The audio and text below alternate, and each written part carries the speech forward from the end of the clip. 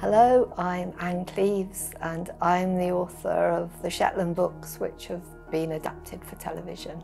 I love Shetland. It's an archipelago right to the north of Scotland on the same line of latitude as bits of Alaska and Greenland, so it's a long way from anywhere. It's wild and it's bleak and it's the home of Jimmy Perez, my detective, who investigates murder and delves into the islanders' secrets.